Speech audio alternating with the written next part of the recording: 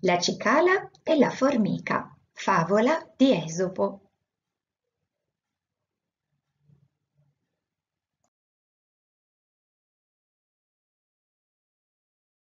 In una calda estate, un'allegra cicala cantava sul ramo di un albero, mentre sotto di lei una lunga fila di formiche faticava per trasportare chicchi di grano.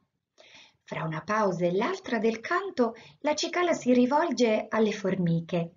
Ma perché lavorate tanto? Venite qui all'ombra a ripararvi dal sole, potremo cantare insieme.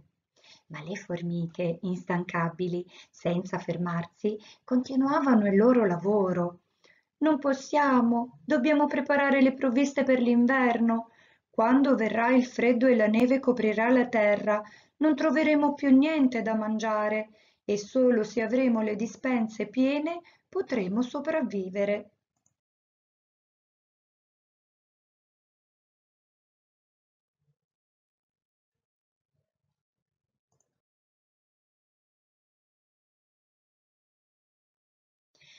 L'estate è ancora lunga e c'è tempo per fare provviste prima che arrivi l'inverno.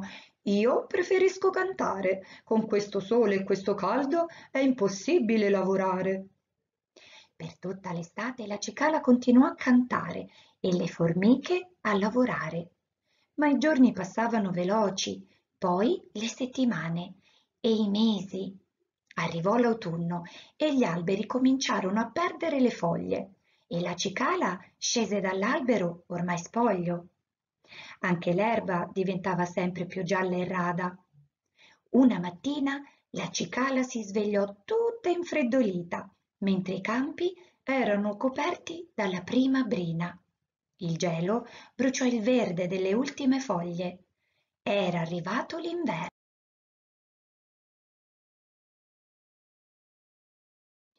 La cicala cominciò a vagare cibandosi di qualche gambo rinsecchito che spuntava ancora dal terreno duro e gelato.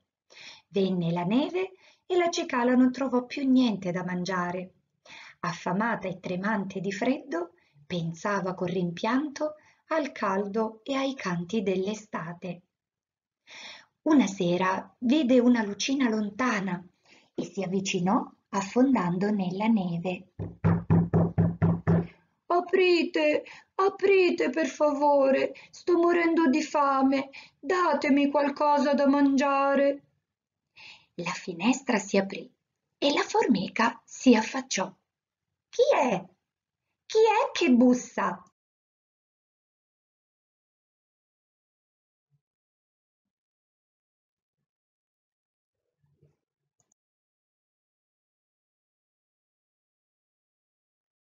Sono io, la cicala, ho fame, freddo e sono senza casa. La cicala? Ah, mi ricordo di te. Cosa hai fatto durante l'estate, mentre noi faticavamo per prepararci all'inverno? Io cantavo e riempivo del mio canto cielo e terra. Hai cantato? replicò la formica. Adesso balla. La favola mostra che in qualsiasi faccenda chi vuole evitare dolori e rischi non deve essere negligente.